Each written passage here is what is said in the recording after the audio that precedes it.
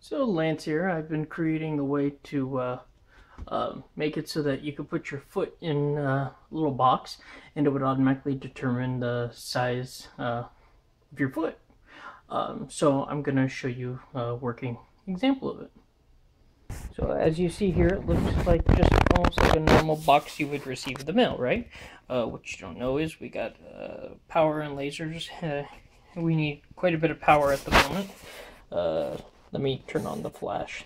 Uh, and hooked up there, we have our power inverter and whatnot in our little case here, which I took uh, a Western Digital passport drive that doesn't work for some reason.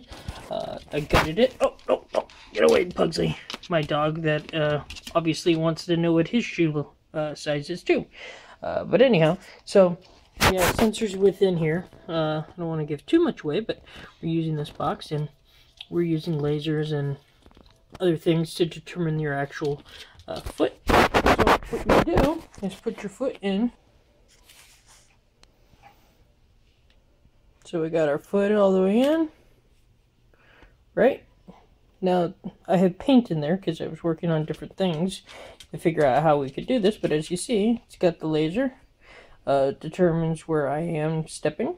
Uh, now, there's a bunch of other stuff, again, underneath, um, and we have a few other things going on down there besides the laser, um, but uh, let's go ahead and uh, tap twice and have it take our measurement. Okay, so now let's come up to the computer. Okay, and what does it say here?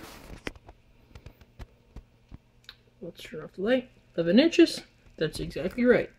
So, um, yeah, so far it's so good. Uh, next, we probably need to look if you're a wide shoe or a, a 11 and a half or 11 and three quarters. I don't know. But right now, it's uh, pretty exact. Um, so, uh, we're on our way. So,